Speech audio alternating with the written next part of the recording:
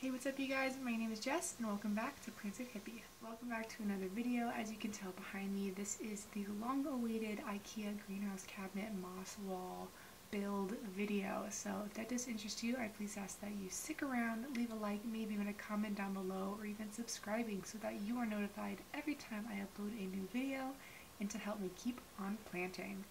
Please also don't forget to follow me on Instagram at planted.hippie where I post new planty photos daily. I will be having to split up this video into two parts just because of there being so much footage.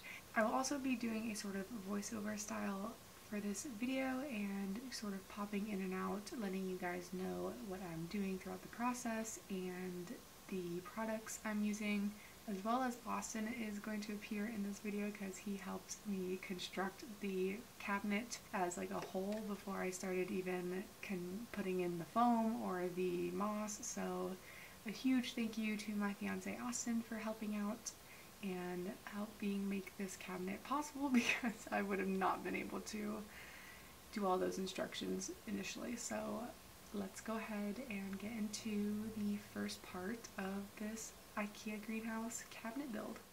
Okay, so I did a little test run, I guess, of the recording. So I'm going to. I think I like the audio. I'm not sure, so I apologize if the audio is crap from here on out. But we are going to go ahead and just do a little voiceover style for this video. So I have the, I guess, video rolling. We have and Austin just here opening up the box, getting all of the items from the IKEA box unpackaged, and we're laying out all the parts and getting all of the hardware laid out. And I started to go through that little hardware bag with all the nuts and bolts and everything, and I went ahead and just organized them all into a little pile of similar nuts and bolts so it was easier for Austin to go ahead and grab.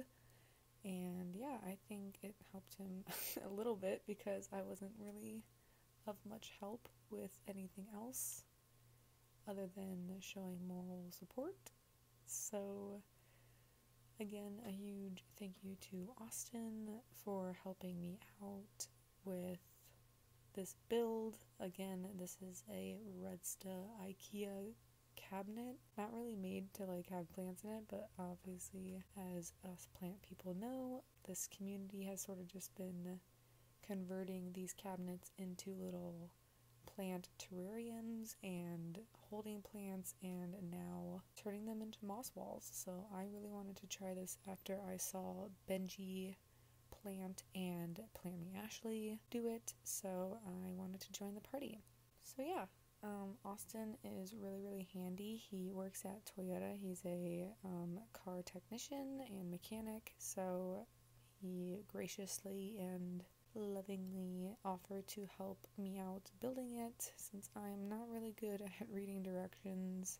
My ADHD mind is just terrible at it, and he is so much faster at it. As you can see, he is just blazing through this, already starting to put on the doors. He put on the back really, really easy. It all is like, it all comes together in like little panels. He said the instructions were relatively easy. Looky there, he is already done. Alright, so after we finished, or I guess I should say after Austin finished putting together the cabinet, we went ahead and moved the cabinet into one of our spare bedrooms so that we could start the silicone process of sealing all of the edges on the inside of the cabinet to make sure the humidity stays nice and secure inside and that we don't have any leaking on the bottom if I were to overwater the cabinet for whatever reason in the future. So here I'm quickly just showing the brand of clear silicone that we used. It is by Loctite and yeah, I just got it at Home Depot and it worked really really well. So after that, I gave the bottle back to him because I snatched it away from him to show you guys on camera. And as you can see, he is just sort of squeezing a good amount of the silicone on the edges and the openings of the cabinet. So each one of those panels in the back is a has a little crease opening where he bolted them together and he's also now just going down the sides of the cabinet where the glass and the metal meet to make sure that's all sealed and what this does is just make sure that all of the humidity and water stays trapped inside the cabinet and doesn't leak either on the bottom as you can see.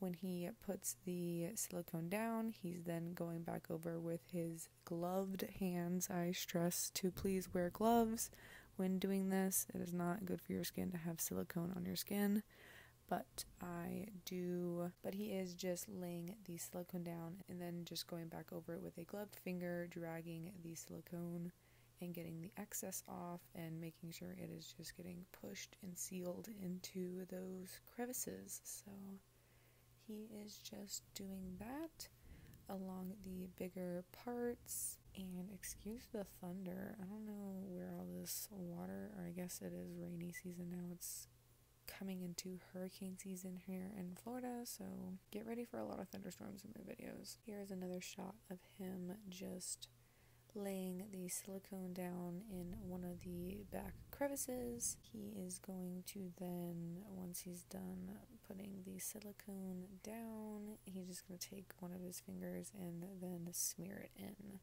So it is completely wedged in that corner and doing the job. Alright, so it's now the next day, and I let the silicone dry for 24 hours, and I am here just setting up my little station for the process to start adding the foam. So I quickly set up my little bale of hay and everything, and then realized that I was about to skip a step, which was very important, and that was blacking out the sides of my cabinet since I was going to be putting the foam all the way on both sides. I wanted to have the sides painted black so that you would not be able to see the foam like in some other builds that I've seen.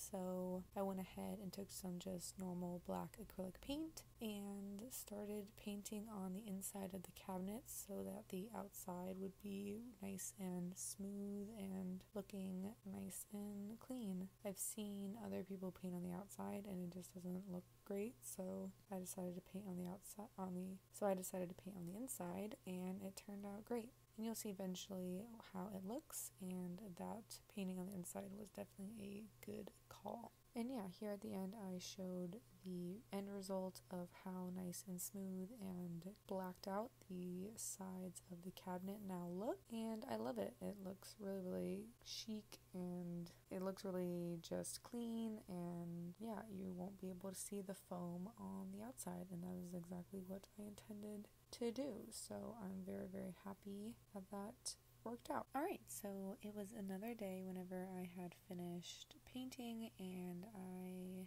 started the foaming process. So as you can see, I started off with three plastic nursery pots for my, I guess, just place fillers for the plants that I'm going to want to be planting into them at a later date when the plants are ready. So you can just see I am slowly adding the foam in. I used a installation foam called Big Gap Filler, I believe it was called, and I just got it from Lowe's. It worked really well. So I really liked using it. Um, just shake it well before use, and yeah, it sort of just does the job for you. Austin was really helpful with having them sort of shaken and putting the little nozzle on for me since I have trouble with literally everything. As you can see, I was making some really good progress. This night, I was sort of just focusing on my design. As you can see, I added a beautiful piece of cork um, bark I got from a local nursery down in DeLand. Uh, it's called EFG Orchids, and yeah, they sell like really cool additional things like that for your plants and terrariums and stuff like that. So I had to get one for this build. I actually ended up um, not using two other pieces of cork that I bought just because they didn't end up fitting very well, and I think it looked a lot nicer just with this vertical one coming up the center. And yeah, I really think it ended up turning out really, really pretty. So I'm really glad I incorporated this piece of cork because I have a little nursery pot at the base of it so that I can hopefully plant a shingling type plant in there and yeah, have it shingle up that beautiful cork. As you can see, I am sort of just fitting two little cups up in the corners as well as seeing where I want to put those little shelves. Um, I started to realize that I needed to flip the cabinet on the side if I wanted to keep adding vertical elements, so I had Austin help me flip it on this and as you can see it made attaching the cups to the wall a lot easier because I did not have gravity working against me. So in this clip I am just sort of finishing up the last little section of foam. I was really in my little home stretch here and I was really really excited to get this part done. And yeah, it was really starting to feel real at this point. I also was just sort of going back throughout the cabinet and filling in any spots that were a little shallow or sparse because I knew I needed a lot of foam in order to be able to pin the moss into it so it couldn't be too shallow, especially on the sides there. So yeah, I was just making sure that the foam was all level to a place that I knew I was going to be able to pin the moss into and and yeah so I think I'm about to start talking again on a new day so let's go back to the video. Alright, so welcome back. I'm here on another day and I am going to start the process of just carving out the excess foam and adding our moss. So without further ado, let's go ahead and get into this portion of our build. So I'm really excited to add this moss because I'm really thinking it's going to really come to life tonight.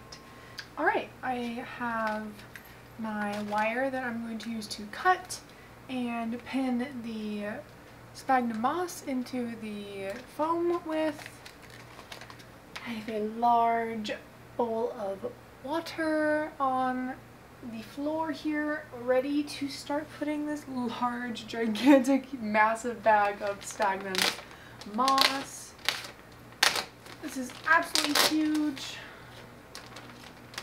I'm so excited to get started. Oh, there's an ant inside. Go away.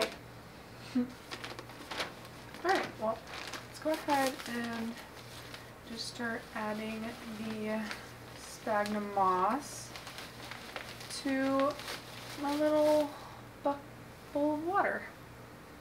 So once I got the moss all moistened and ready for pinning, I just started going to town.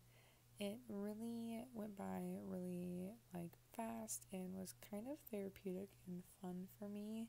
I was just listening to music and just making sure I was doing it right and putting as many wire pins in the moss as possible so that when I flipped the cabinet back upright, I didn't have a ton of moss falling out of the spots that I pinned it in. So, yeah, nothing more to really say other than just watching me pin the moss. So, go ahead and enjoy the music I've been playing throughout the video and watch me pin this moss.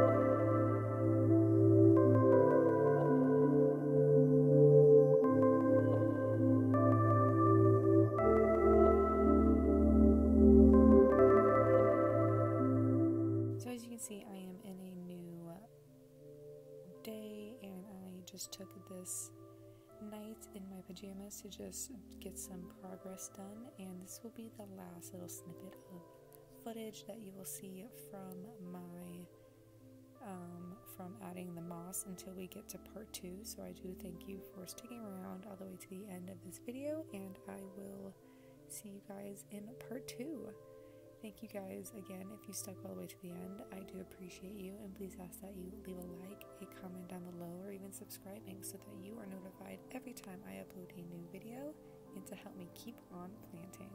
So, with that, I will see you all in part two. Bye, guys.